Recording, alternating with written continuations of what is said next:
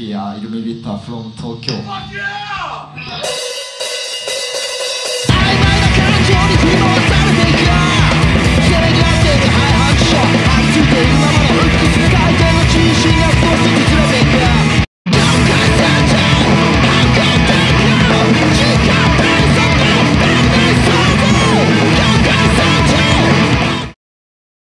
積み重ねと構築は放棄塊飲み込んですぐに吐き出す。扉が閉まる音だけが聞こえる。理解してから見ないふりする。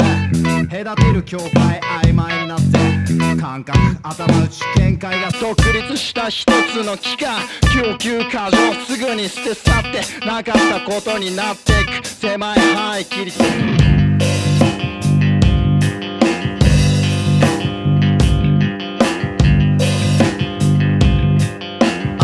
ける不安定から導かれる行動